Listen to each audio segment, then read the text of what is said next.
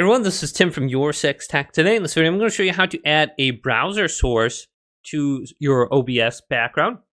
And you can do this, I don't know, maybe you have like um, a viewer count uh, URL or maybe you're doing like some sort of poll and you want to go and just link the URL in here without showing like the entire web browser.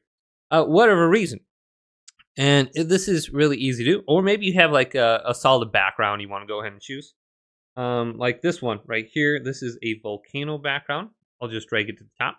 This is just a URL from uh, google.com. You can see it's just images.app.go, which is just google.com. And I just, you know, dragged it and made it a little bit bigger.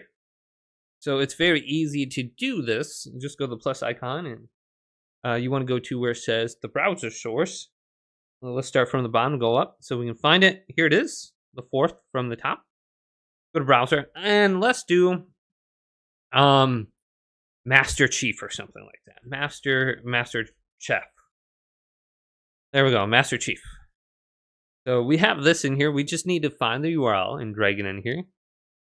So let's go over to uh, google.com or you could do like Bing or something. Let's do Master Chief. So this is just an example. You can do this for pretty much anything. So here it is. We just want to go to this and find the URL. So let's go to share.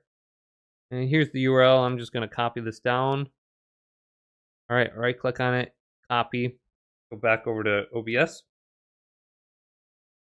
and then control V, paste it in here, and we should be good. And Master Chief should display. Now, it's hard cropping everything out, so you kind of have to like work your way around it, but you can get a solid background doing that. Uh, we can go to maybe like properties and we can see the width and height if we want to change that. Um, we have filter options. We can add filters to this. We want to do some sort of like color correction or luma key. Um, maybe we could do a color correction. Uh, uh, we could increase the saturation or something. I'm thinking color key. So I'm going to try to cut out the background, like the white background. So let's do custom color, select color, pick color on the screen. Do that one and go okay. It kind of worked, but you can see there's something there. So you can work with a, a color key or we can go to uh, chroma key too. We can try a chroma key. And then we can pick a custom color again.